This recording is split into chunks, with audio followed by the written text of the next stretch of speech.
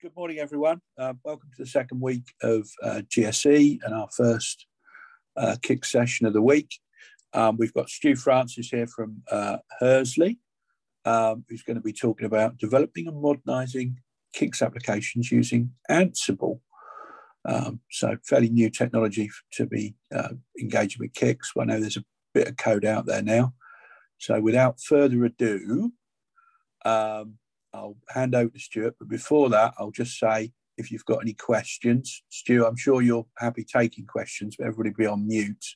Um, if they just want to pop a question on chat, um, Nick will keep an eye on the chat for everyone um, and might interrupt you if there's the odd question. I hope you're okay with that, Stu. Yeah, perfect. Yeah, the more questions, the better, and absolutely don't mind being interrupted. Okay, brilliant. Okay, without further ado, then uh, take it away and tell us about Ansible and CICS. Cool. Uh, thank you, Rob. So um, the title of this session is Developing and Modernizing CICS Applications with Ansible. And this is a bit going to be a bit of an introduction to what Ansible is and how it works, um, a bit of a discussion about how it applies to Z. And then it's kind of from the perspective of some of it's going to be a bit like, you know, how it can be useful for developers. And um, a lot of it is going to be about how um, it can enable system programmers to um, provide automated services that developers can use. So it's not um, strictly developer focused, but it's kind of a bit of both.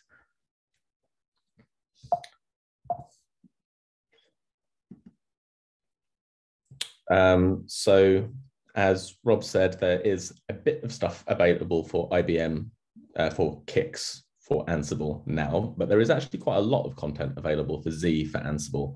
Um, we in the CICS department have done our first release of Ansible support this year, um, but the IBM z/OS core collection is a bit more established. Um, the really interesting thing about the Ansible ecosystem, and we'll talk a bit about this, is that there's this big um, kind of community of um, independently developed extensions for Ansible. Uh, and the real strength of Ansible is in that community and all of the different kind of content that people are providing, which other people can reuse very easily. Um, and in particular, we're going to look at what the um, how you can use the IBM z/OS core collection with the IBM z/OS CICS collection and how you get kind of a lot of value out of having those two things together. Um, so I'm going to go through some slides at first, and then I'm going to introduce you to those two collections for Ansible by way of a couple of demos. We have um, a samples repository, which I'll give you a little tour of, uh, and I'm going to take you through a couple of the samples we provided for the CICS collection. So about Ansible kind of in general and specifically how it applies to Z. Uh, so Ansible is an automation tool by Red Hat. It's an entirely open source project. Its tagline is uh, turn tough tasks into repeatable playbooks. And Ansible is a, um, you can kind of think of it on one hand as a general purpose scripting system which allows you to um, automate a whole variety of different things. And it is really flexible in what you can automate. It works at a, um, you have control of things at a relatively low level. So doing things like creating files, writing to files, um, and you can interact with kind of almost any part of uh, your system and take a task that you previously had to write instructions down and remember how to do manually, Ansible can provide you a way of being able to automate that task and also be able to share that automation with everyone else. The kind of unique aspect of Ansible when compared to just a general purpose scripting solution is that it manages your uh, entire IT infrastructure. So rather than just running a task against a host, if you imagine you're just trying to do some automation with um, a shell script or something like that, you'd log into the system and then you'd have to make sure the shell script was there on the system and then you'd run your script it would do whatever it was supposed to do um, and then if you wanted to make a corresponding change to another system like maybe you're running one script to set up a front end web service and you're running another script to set up a database talking in kind of you know um, kind of very generic terms then you'd have to manage those two things independently. Ansible provides a way of saying, I have this collection of machines and they're all going to be databases, and I have this collection of machines and they're all going to be front end web servers, and I'd like you to run this uh, automation against the databases one and this other automation against the front end web services one and have them kind of all kind of converge on your desired state. Um, it is a general purpose automation tool. So you can use it for automating literally anything you might think of. I mean, if you can make changes to files, then if you can do it by making changes to files, then broadly speaking, you can do it with Ansible. Um, but common use cases are doing things like um, system provisioning. So there are Ansible um, playbooks for doing things like installing um, common web server instances or database instances and things like that. Um, and um, actually standing up systems from bare metal as well, um, managing user identities, so creating new users, adding them to groups and things like that. Um, updating certificates is quite a common use case. So if you have expiring certificates, being able to like automate the process of going through and replacing or refreshing all of those certificates with newly signed ones. Um, and then it also features quite a lot in continuous delivery pipelines. So um, being part of some automated process for um, applying the latest changes to a system and for general purpose kind of configuration management. And that's the configuration management is a kind of space that we're kind of thinking about as well for Ansible. It seems like it has a lot of applicability there for CICS. Um, so Ansible is really popular. Um, I did used to have a slide in this deck which talked about how many um, independent contributors Ansible had to its repository on github.com. And I think it was the ninth most popular repository on github.com in terms of number of independent contributors, which is like really crazily popular. Um, but that figure does is a bit skewed if you've seen that anywhere because um, all of the third party content for Ansible used to be contributed to the main Ansible repository. So it kind of meant that everyone kind of converged on one repository. And it kind of meant you got a lot of people contributing to that. Um, that's actually changed in Ansible recently. So there's now a better model for contributing third-party content, and we're going to talk about that. And that's actually one of the real strengths of Ansible is that ecosystem and how you can share content um, within your organization or without your organization as well uh, with other third parties. And there's a whole library of useful content that you can use for Ansible. There'll probably be something in there that's applicable to what you're doing. Um, because it is so popular, you can use it in a huge variety of places. Uh, so that includes Z now. Um, and that means that you can use the same automation strategy everywhere. So people who have skill in automate in producing automated solutions on one platform are able to translate that in some way to um, other platforms as well. Obviously, we know that you know if you're going to be producing automated solutions for Z, you are going to need to have Z skill. Um, but you will also have to know things about how Ansible works as well. So there is some kind of skill crossover there, which will be kind of generally be generally beneficial if you're using the same automation strategy for everything. Um, because you can automate so much stuff with Ansible, you can achieve configuration as code. So um, if you're not familiar with configuration as code, that means having the entire state of your system represented as code in SCM somewhere so that if you needed to recreate everything, you could do it from that definition rather than having to have manually applied approaches that you'd have to go through to um, make changes to your system. So you have um, a versioned artifact that describes the state of your system. Um, in terms of that third party repository of how much stuff's in there, um, this is probably a little bit dated now actually, but um, it says over 3,000 modules for all the things you might need to do. I'm fairly sure it's significantly more than that now. Um, what it does mean is that if you're not previously aware of Ansible being used in your enterprise, then do ask around because you will find, uh, we find quite a lot that um, people that we are having conversations with uh, will be coming to us. Normally, um, you know, we'll, uh, if we're thinking about an area like this, we'll be trying to um, you know the table will be more flipped towards us reaching out to users and trying to find how they're going to be interested in things like this with ansible found quite a lot that actually um, people are finding that ansible is used, used elsewhere in their organizations and they want to come and find out what we're doing on z and how they can get the same benefit that they're seeing from ansible on other platforms on z um, and some of the infrastructure which we'll talk about um, if that already exists in your enterprise then that'll make it a lot easier for you to get started with doing things like um, if you if you produce a piece of automation, having that hosted in a way that other people can benefit from it. Um, Ansible has a quite unique architecture in terms of um, you don't actually install Ansible on the machine that you're trying to automate. So uh, they refer to that as agentless. Um, it doesn't quite mean that you don't have to install anything. So I think agentless in some regards is a little bit of uh, uh, misdirection. Um, but essentially, the way Ansible works, broadly speaking, is you run Ansible from what's called a control node. I'm going to do a couple of demos in a minute. And in that case, the control node is going to be my laptop in that model. So I'll be running Ansible on my laptop. And what happens is it's going to establish connections to remote machines over SSH.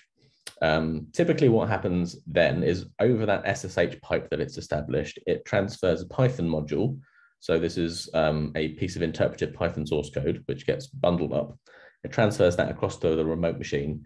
That Python module gets executed on the remote machine to enact some kind of state change, depending on what that um, playbook is set up to do. And when that's happened, the Python module builds a response that response is transferred back across SSH to the control node. Um, so you will need, for example, to be running an SSH daemon on the target machine so you can establish that SSH connection. And in most cases, you'll need Python. Now, Python is not a hard prerequisite. You can implement modules in whatever you like to some extent, but broadly speaking, most of them are in Python. Um, so what happens is you'll need to have Python installed on the target machine as well. So for Z, that means you'll uh, the version of Python that we recommend for Z. I think actually it's a requirement now. Um, now you have to run for the IBM z/OS core collection. You have to run IBM Open Enterprise Python, and I think you can choose 3.8 or 3.9. So you do have to do some setup on the um, remote side. So you'll have to have some things taken care of to be in place on Z if you're looking to use this on Z. Um, there are some other dependencies that we'll talk about too. Um, not everything actually does use SSH and Python um, for just kind of interesting aspects. Um, we'll actually look at how the CICS connection works. Uh, the CICS collection that we've developed works a little bit differently, and there's the kind of reasoning for that should become apparent. Um, but you can also use Ansible for doing things like configuring network hardware and environments where Python doesn't run. So you really can use it for automating lots of things. You're not this, the dependency on Python is not a limitation. Um, so we I talked a little bit about how you can use how Ansible has this model of your entire ecosystem. In Ansible terms, that's called the inventory. Um, in most cases, that can be as simple as just a, a flat text file um, so there's an example on the right hand side here, and that text file is just lists um, hosts by host name. Um, the bits in the square brackets are groupings so that you can run a piece of automation against a collection of hosts. So you can run automation against all your databases, or you can run automation against all of your front end web servers or whichever. Um, so that's how you do a static inventory. Um, Ansible has a lot of different places where you can extend it as well. And one of the uh, extensions you can develop for Ansible is what's called a dynamic inventory. So imagine you have um, a bunch of uh, provisioned instances on a cloud provider. You probably don't want to have to maintain an inventory in that you declare to Ansible to tell you what those um, instances are. Instead, you can get an Ansible plugin, which will be compatible with your cloud provider of choice and it will be able to look at your inventory that you have on cloud and make that kind of discoverable to Ansible so that you can pick from that inventory to run automation against. When you write Ansible, I kind of said this earlier uh, before introducing the term properly, um, your Ansible automation is described in something called a playbook. Um, that's a bit like a script. Um, it's in YAML format. So there's an example on the right hand side. Um, in a playbook, what you'll essentially do is you'll have a list of tasks. Those are the things you're going to do. And those tasks are um, some tasks are built into Ansible. So things like running a shell script or executing a Python script. Um, or uh, the bottom one the, in that example there actually uh, template is one that's built into Ansible.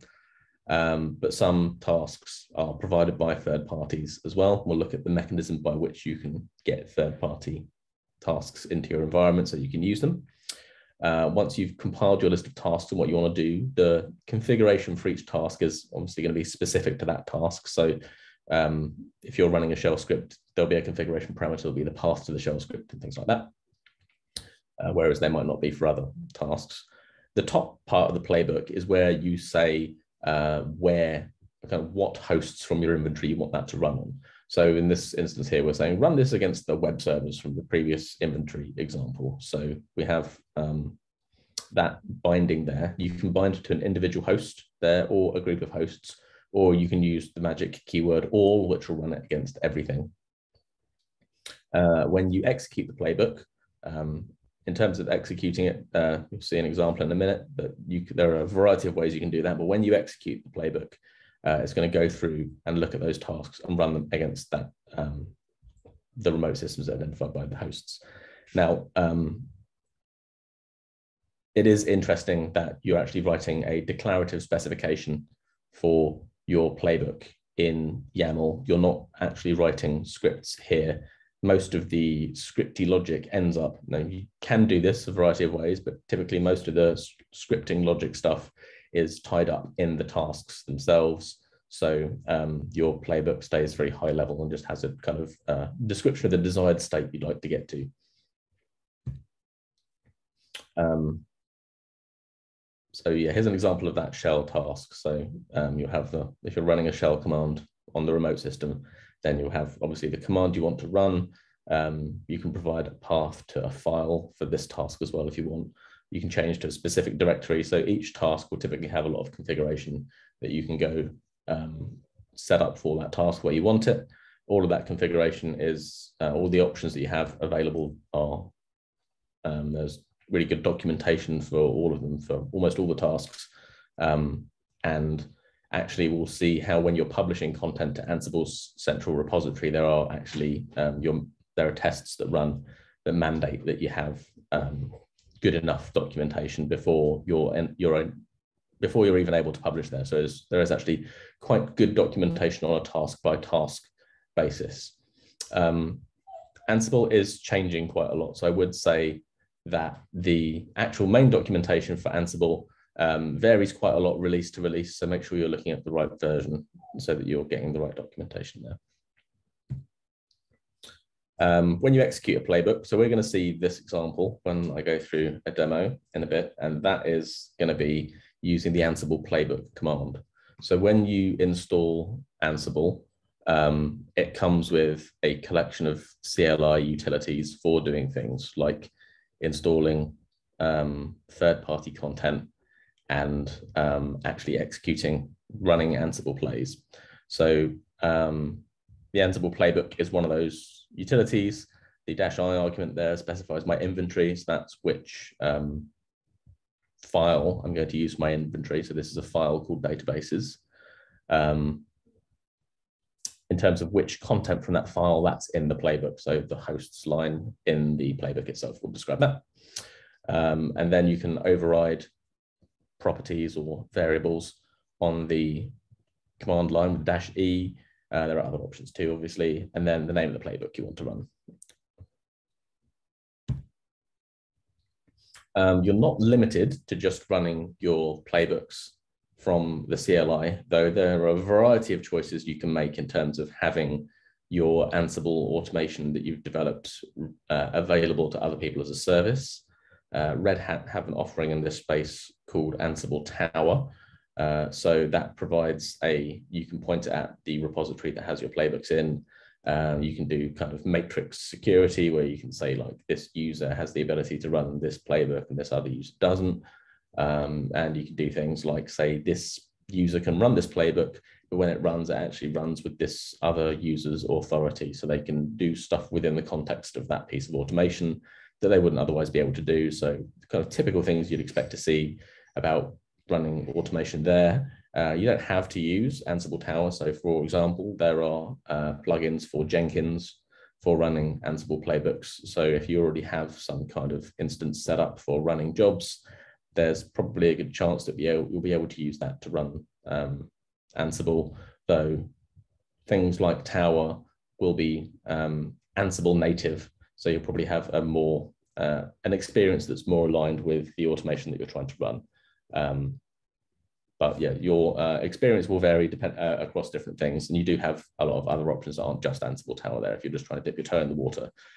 Ansible Tower is one of those things I was referring to when I was saying if you have Ansible running somewhere else within your enterprise, you might already have an instance of Tower that you can host your automation in alongside other people's automation.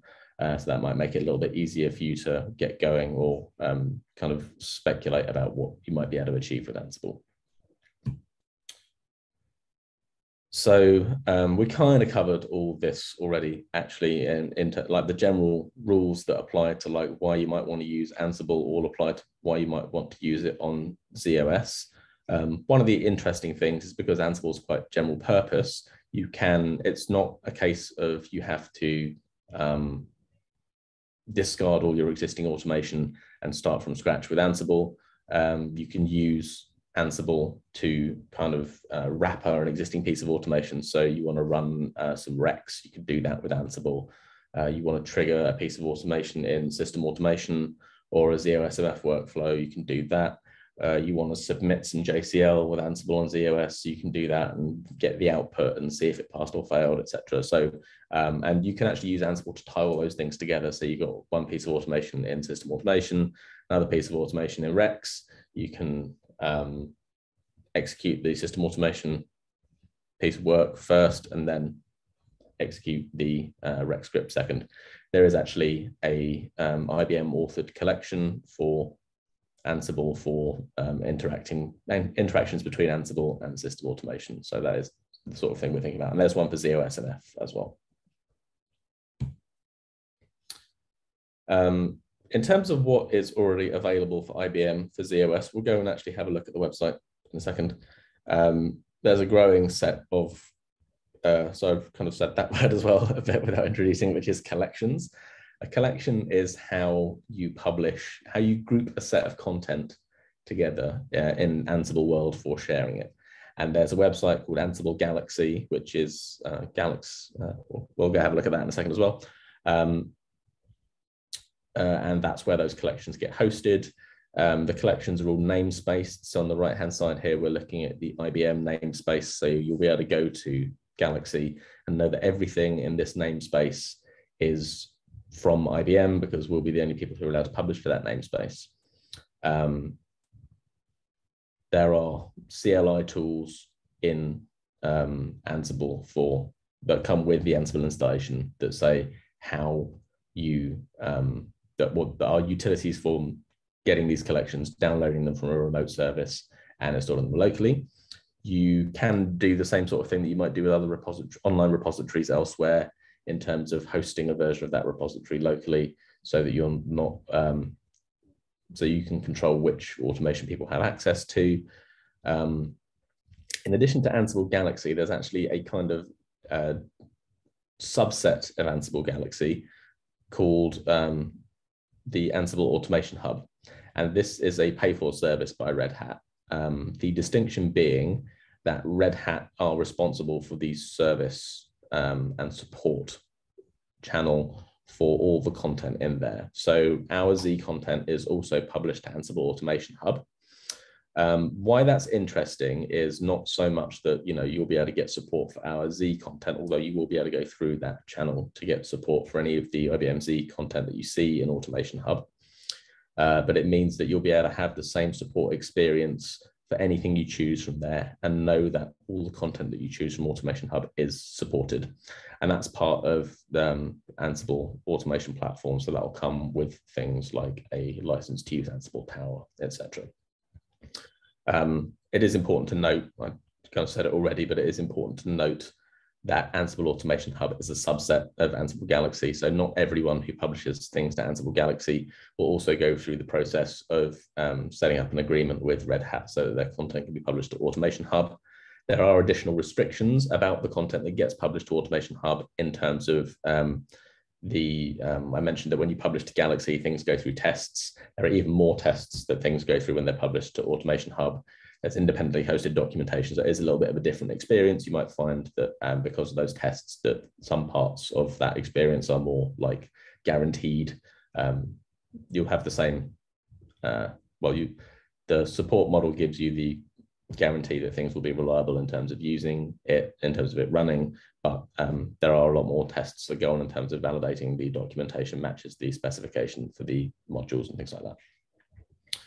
Um, the IBM z/OS core collection, which I'm showing on the right-hand side here, and we'll go have a dig around on the Galaxy website, uh, provides a really good foundational experience for z/OS. So uh, has you can see the number of modules. Each module essentially provides a separate task. So there are 16 kind of different things you can do with the z/OS core collection. You can do things like um, submitting jobs, reading job output from JES, um, allocating, um, cataloging data sets, uh, and running programs. One, I think one of the more interesting ones actually is running programs without having to use a job. So there's some kind of sugared experience that allows you to kind of skip the skip defining the JCL side of things a bit, and we'll kind of we'll try and have a look at that as well. Uh, this year, at the start of this year, we released the first version of our CICS TS collection for Ansible. So this is something that's relatively new to us that we just started doing, but it is something we're continuing with as well. So we are thinking about kind of what to do next in this space. Um, so the collection is being developed in the open. So this is an open source project as well. So if you go to um, github.com, what's kind of interesting about Ansible is I mentioned that they moved all of the third party content out of the Ansible repo um, and into this separate Ansible collections organization on GitHub. So that's the Ansible dash collections part of the URL. Um, ours then goes in a sub in a repo in that organization called IBM z/OS CICS. The IBM z/OS core collections developed the same way as is the IMS one. They're all under Ansible collections org. Just kind of interesting if you've worked in uh, kind of open source space before, because typically you'll see like um, you know the IBM content hosted by an IBM org, but this is the way that Ansible collections work. So now everything's out of the same repository, but it's in the same organization. Um, on galaxy.ansible.com, we're under the IBM namespace, then IBM z/OS CICS.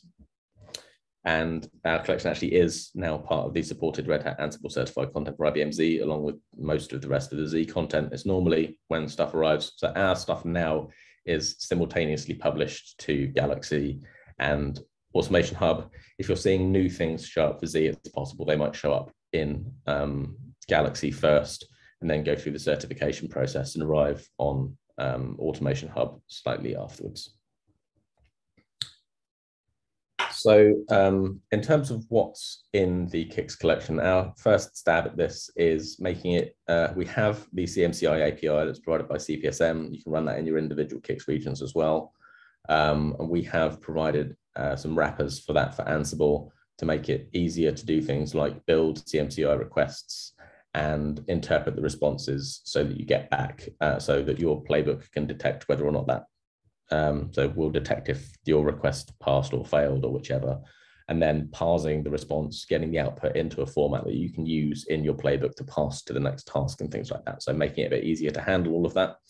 Um, we thought that was a really good place for us to start because there's a lot of utility in the cmci api um, kind of gives you the opportunity, things that if you've used CICS Explorer, things that you can do in CICS Explorer because all of the data in CICS Explorer is backed by CMCI. So any of the CICS resources you're looking is backed by the same API that you can drive with Ansible now.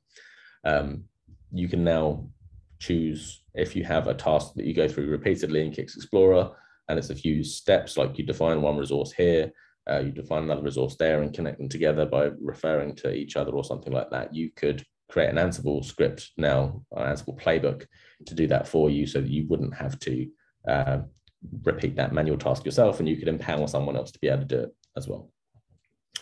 So um, we cover the whole of the CMCI API. So um, getting information about any resource, so like installed programs or files or transactions, but you can also um, get information about the definitions that back those as well. So you can get definitions from CSD or from BAS if you're using that with CMCI API.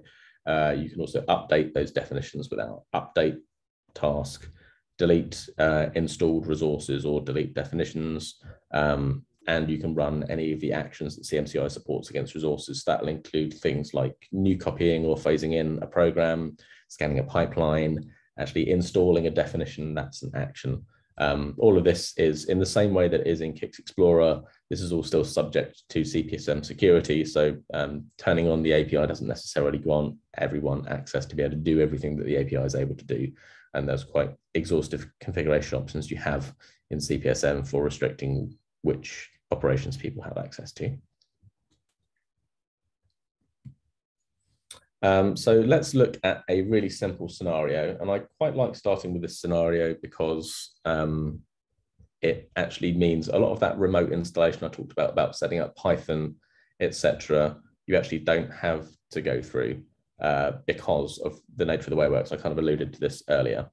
Um, because we're using an HTTP API in terms of um, CMCI, um, it doesn't really it's not really necessary for us. If I'm running Ansible on my laptop and I'm targeting z/OS, um, it doesn't really make sense for me to have to establish an SSH connection to that machine. So that machine can make an HTTP connection to itself to do something when I could just kind of cut out the middleman and make the HTTP connection straight away.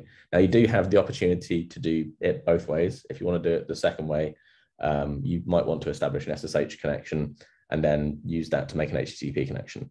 Uh, what this does mean is we have to specify some authentication information because um, normally over SSH, we'd use our SSH identity to verify who we are. We're now going to have to verify our identity over HTTP. So you'll see me uh, needing, being asked to supply username and password as well. Um, and there are that might be one of the interesting ways that you might want to um, you might want to go over SSH first you might go over SSH for the first hop and then be able to use something to uh, bounce your SSH identity to a credential you could use for HTTP instead. So using the same identity for everything. Um, but you do have the flexibility to kind of pick and choose. What we're going to do in this scenario is we're going to use the CMCI API to collect some information that you might have seen visible in CICS Explorer. Uh, you have maybe you go through a report process where you um, take that. So if I kind of I come out of here and I show you in CICS Explorer some of the things that people use CICS Explorer for. Um, so they might take some of this information here that you have visible in CICS Explorer and then do Command C to copy it. And then you can come over to Excel and you can create a new um, blank workbook. And I think Excel just crashed. Start it again. There we go. Um, you can paste the contents that you see in CICS Explorer into here, and then you can kind of you know reorganize it, sort it how you like, design the content how you want, so that you can produce some report. Um, the problems that you have with doing this in CICS Explorer is we've obviously only copied the data that you could see um, in the table at the time. So if you had like normally you were looking at one set of stuff, but in your report you want to see different content, then you have to come in here and add more data that you might want to see. So you might want to see the initial heap and the heap occupancy. So you might choose to add those. This is uh, JVM servers in CICS for reference. Um, then if I selected this information instead and copied that, you'll see that I get like a slightly different subset of stuff. So Ansible, we're going to go through an example where we can automate this process instead. Um, so I mentioned this is one of our um, samples that we have in our repository. We hop over to um, here, this repository, if you search for Z Ansible collection samples, this is a shared playbook repository which we have on github.com. So this is public on github.com. Uh, this is where we put all of our samples that we're developing for all of the IBM Z content for Ansible. So you can come in here and find something that will kind of teach you how to use a particular aspect of um, our Ansible content for Z. So that's not just CICS. You scroll down and here, there's a little kind of guided tour, which will teach you about using Ansible to do different stuff in here. And there's a whole load of different examples. We're going to be looking at examples in the um, CICS section, which is under z/OS subsystems.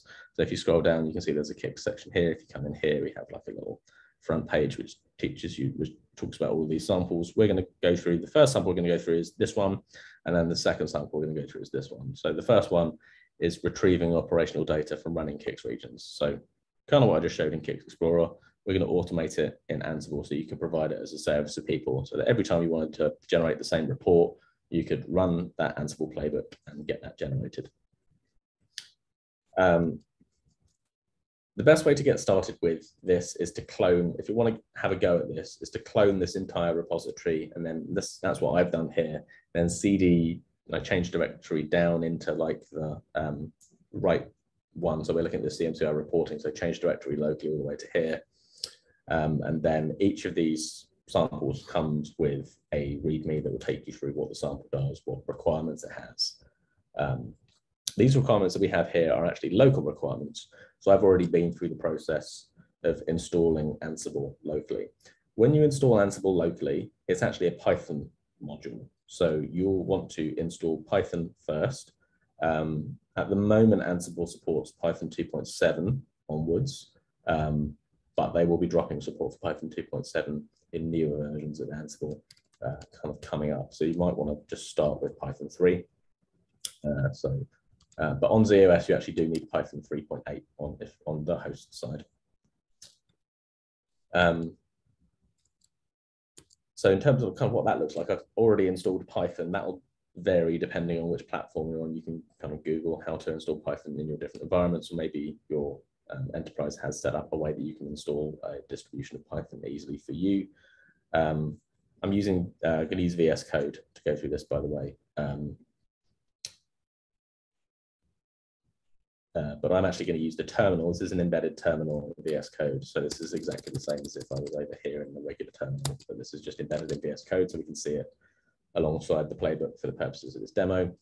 Um, we are going to run this report YAML here. This is our Ansible playbook. So if we scroll up to the top, you'll see there's some information reproduced in the README. So you can see that in context here. You do actually get the README as well. Um, and I've already been through the process of installing Ansible. If you have Python installed but not Ansible yet, you can do pip install Ansible to install that, and that will come with all of the Ansible CLI utilities that you need. We've already done that here. We're just going to try running this playbook. So um, what we're going to do is we're going to run Ansible dash playbook, um, and then we're going to run um, report. Now, in the example I provided before, you notice I specified inventory. One of the reasons I suggest this sample as a good way to get going is because you kind of don't have to worry about all of that. Um, this example is set up to prompt you with all of that information about which remote system you're going to run it against. Because we're not doing SSH, we can just prompt for thing for like HTTP hosts and ports uh, as part of the playbook. So when you try running it, um, you'll notice that we're bound. I said there was a special word you can use for hosts, which was localhost. There's a special word you can use in here, which is hosts all. Uh, sorry, I said there was a special word you can use, which is hosts all. We're going to use localhost, and what that means, don't run on anything from my inventory. Actually, you don't need an inventory. I'm just going to run it on the local system. Um, then we're going to start prompting for these variables. So I'm going to point this at a CICS system that I've got running in Hursley. And then a port. Uh, this is actually HTTP, not HTTPS, but you can do either. Uh, oh, hang on, hit enter twice there, sorry. Let's do that again.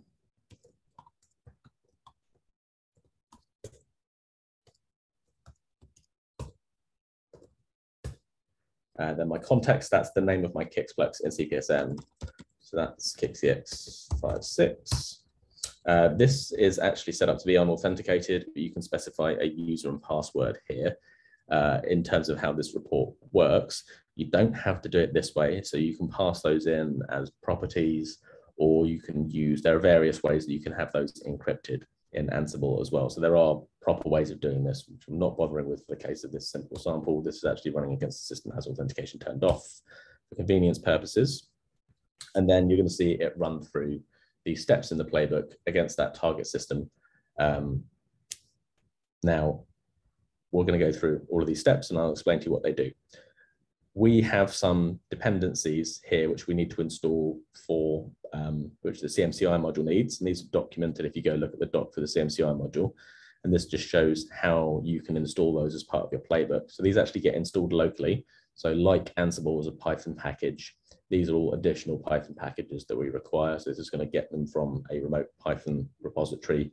And again, you don't have that doesn't have to be on the public internet. That can be um, behind your company firewall in a private instance somehow as well. Um, then kind of the interesting part of this sample, we're going to actually use the CMCI module to uh, get the information from the remote regions. This syntax here with the quote and the double brackets is how you refer to variables in an Ansible playbook. So these are the things that I was prompted for when I ran the playbook up front. So we're going to specify the context, the CMCI host, the port, uh, the user and the password if they were supplied. This syntax here, where you do the pipe with a vertical bar and the default emit means actually don't specify that parameter to the module if the user didn't specify a value for that. So that's how you kind of leave stuff off and the scheme is whether it's HTTP or HTTPS. This type here is the CMCI type for that, um, the CMCI resource we're after. So we're actually getting information. I showed you in CICS Explorer, I showed you getting information about uh, JVM servers. We're actually going to get information about our CICS regions here. Then we save the output in this using this register result. And there's a debug bit commented out here, and we're going to uncomment that and rerun it again in a second. It'll show you, it'll show you kind of what's going on as your playbook runs. So this will show us the result from the previous step. Uh, then we're going to use the built-in template module. And this is one of the real strengths of Ansible is the built-in templating is quite comprehensive and you can achieve quite a lot with it. it uses a templating language called Jinja, just spelled with a J. So if you Google Ansible Jinja templating, then you'll find in, uh, a lot of useful documentation about how to do the kind of, um, it is a, it is its own syntax. So you probably won't have written templates with a syntax that looks quite like that before if you've not used Jinja before. But it is reasonably flexible in terms of um, being a general purpose templating language. So I've seen quite a lot of samples where people have done that too. Um, you have a template which builds a uh, JCL job and then uh, you can use the z/OS, uh, IBM z/OS core module to submit that job. So do, doing things like that, building content dynamically. Uh, the template, we're using a file here called csv.j2, which comes with this repository. This is more of kind of what you saw in the playbook in terms of that double brackety syntax and vertical bars. Um, the percent sign is how you do um, conditional logic in Jinja templates. So um, taking you through this quickly, what we what happens is when we run this CMCI request, we get a list of records back, and we're going to go through each of those records. Then we have a separate list of attributes, and for each of those attributes, we're going to use this kind of array uh, notation here to pick that attribute out of each record. Um, and then we're going to comma separate it, so we're going to end up with a CSV file. And then if it's not the last line, we'll add a new line on the end and that's the end. So relatively simple template. In terms of what those list of attributes are, you might have noticed as I scrolled down, there's a separate variables thing set up here, which we didn't get prompted for. So this one was a vars prompt section. This one is just vars. This is going to let us go through. Um, so this is how we specify which attributes we want. So if we quickly go and have a look at that CSV file first, um, if I go to Finder, I should have it ready to go. So this is the CSV file that we just wrote. So if we open that with Excel, then you can see we get something quite similar. Um, now, obviously, if you wanted it to be exactly similar to what you got in CICS Explorer, then you could write a more sophisticated template than what I have. Mine just spits out a CSV file with the values of the right attributes here. Um, if you do have a go at running this sample, um, the README suggests some other things that you can do so if we pop back over to this README, you scroll down here, there are some things you might want to try instead, uh, like next steps to kind of get used to running Ansible. So instead of specifying all the variables on the command on uh, being prompted for them, you can use this dash E syntax to specify them as well. Um, so that you won't get prompted for them anymore. You could also go in and remove this vars prompt section and just stick all of the information about this, hard code it in your playbook in the vars section we're going to do one of the suggested things, which is how you can add more attributes to your report. So you just need to get an attribute name.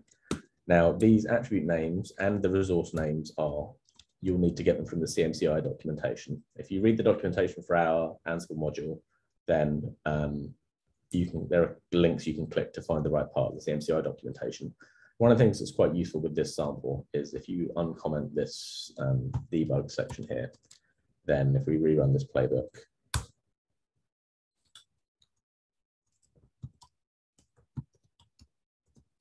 and not mess it up this time.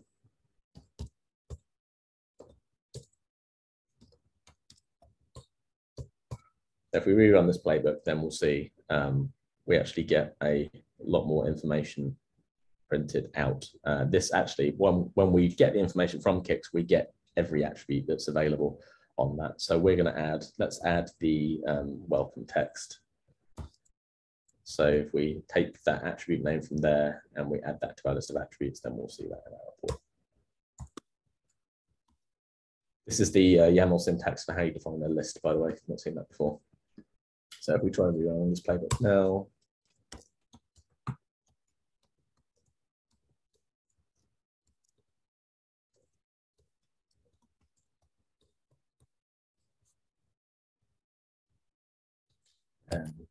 see um, it detected that the report had changed the content this time. So when it ran, it actually overwrote the file that was there before. And if we open this with Excel again, we might need to close the previous one.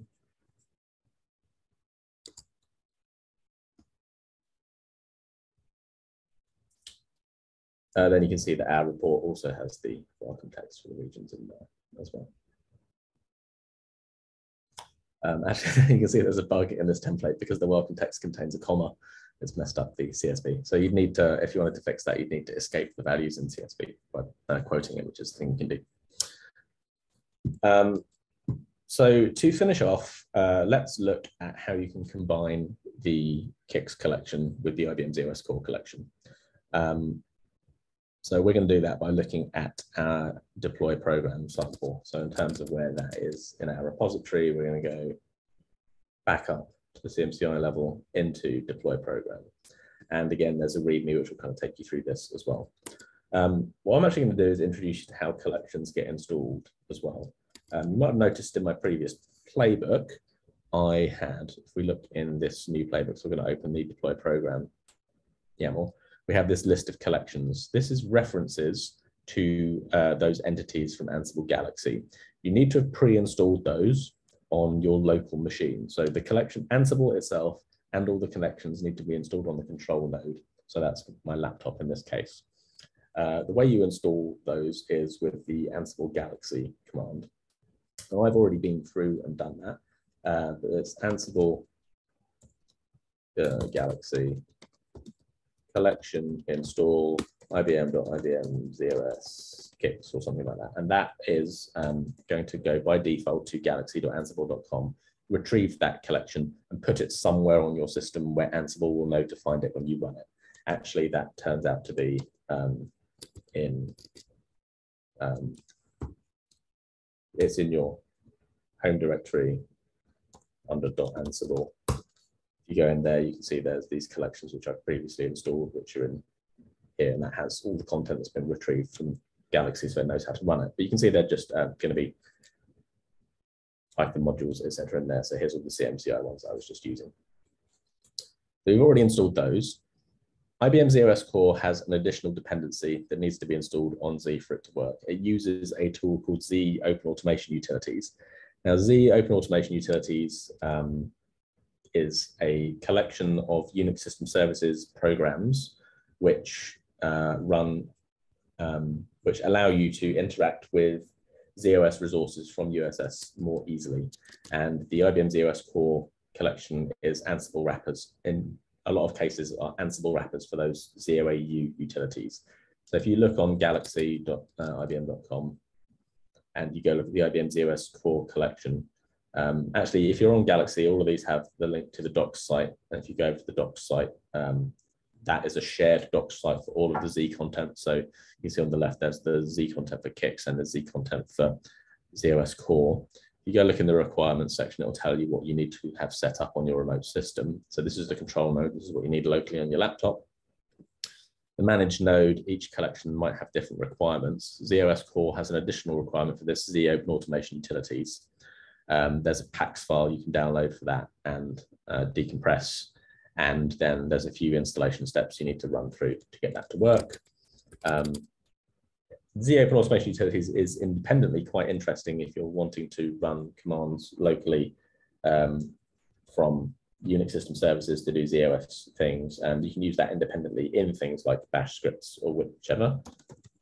So um, I've got that installed in um, in my home directory here. Uh, so you can see there's a, if we go into the bin directory, then you can see there's a whole bunch of different utilities in there. So the D things are doing things with data sets and the J things are doing things with jobs. Um, and you can run MVS operator commands, etc., etc. There's a whole bunch of uh, really interesting utilities in there, which the Ansible collection is wrappering. Um, so there is also some setup you need to do in terms of configuring Ansible to run in the correct environment when it runs. This is why it's good to start the reporting samples. You don't have to go through all this. You can kind of get up and running a bit sooner. Um, in this example, I'm actually going to use an inventory. So I'm running against a system in Hursley here. This is my user. This is where I've got Python installed. That's a Python virtual environment. If you know what one of those is, that's using one of those in my uh, user directory. Um, we also need to set up the remote environment so that the z/OS core collection knows how to find um, ZOAU when it runs. Um, and we're going to use a concept called host vars for that. So host vars is a mechanism in Ansible where you can associate uh, variables in your playbook which have different values per host. Uh, so we might say on one z/OS system, ZOAU is installed in one location, but in a different system, it's installed somewhere else. Um, and what we have in here, actually what I've done in here is I've actually added some of those CMCI parameters that we were using in the first example. You can just as equally specify those. If they vary per host, you could choose to put those in host variables as well. Uh, if we scroll a bit further down, we'll see I've got a dictionary of environment variables here. So this is like a map of key value pairs. And I'm going to pass this whole thing as my remote environment. So this is just saying, um, setting up these environment variables that ZOpen Automation Utilities needs set, like Python path points to within ZOAU's install directory to a lib directory. Um, lib path needs to be set, and then you need ZOAU's command line utilities that I just showed you, that bin directory uh, on your uh, shell path as well. And then there are some other options about doing automatic code page conversion uh, like BPXK auto CVT that you need turned on as well. Uh, all that is documented in the z/OS core documentation. If you click through that, there are samples that you can just grab. Um, and I had the path to uh, where Python was installed and where ZOAU was installed set at the top of this environment variable. So I just referred to them a bit lower down. Um, what that means is all my environment's already set up so that when I run it, let's talk a bit uh, before I run out of time about what this sample actually does. So we're going through, it's, it's not a particularly sophisticated example, uh, but we're going to go through a scenario where we might have a uh, automated build process which has compiled a load module and I want to copy that into one of my data sets that's being used as a load library by my CICS region. And once I've done that, I want to run a new copy or a phase in on that program in my CICS region to get CICS to reload the latest version of that load module. Um, you can see here, we just bind this to all. So this is going to run against whichever remote system we point it at when we execute from the command line. First thing we do is we're going to use this z/OS copy. This is from IBM z/OS Core. So um, it's going to find this automatically. I could also have referred to it as ibm.ibm z/OS or .zos copy as well if I wanted to. Slash in the wrong place there, but you get the idea. Um, so I could refer to it like that if I wanted to go for a full name so it would be less ambiguous, but it will try and find a version of something called that from the path.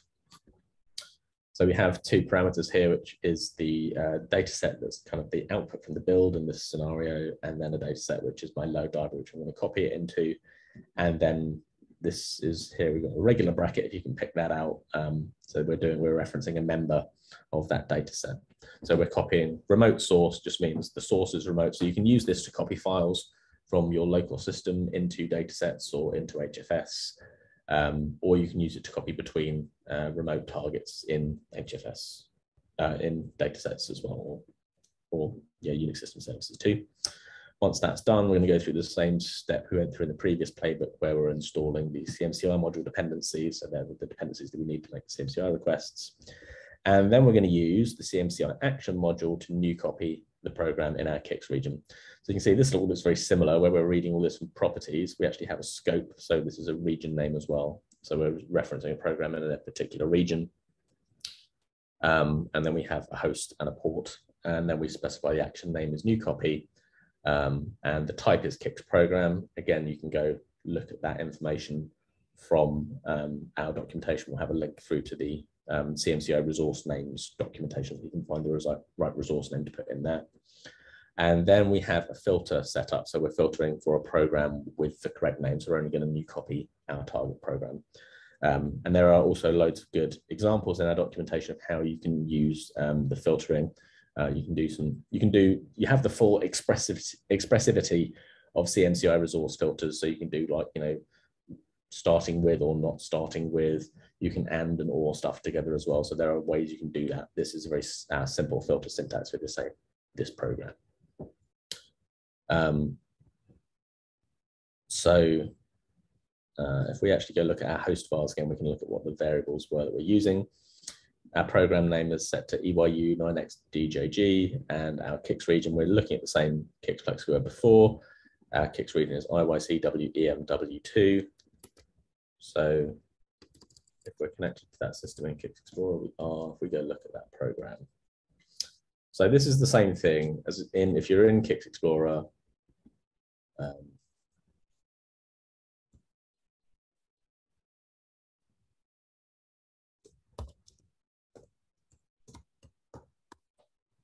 uh, then you could have done this by finding this program here, right clicking and doing new copy, clicking OK and going through that. Um,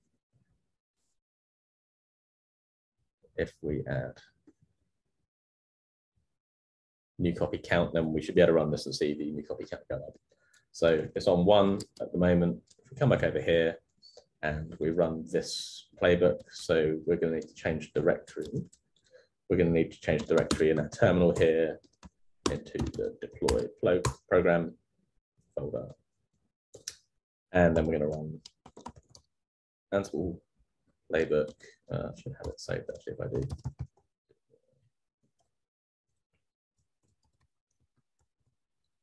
Deploy program.yaml. So um, it's wrapped slightly, unfortunately, on this line. Um, if I just make it smaller so it all goes on one line, then we can see it.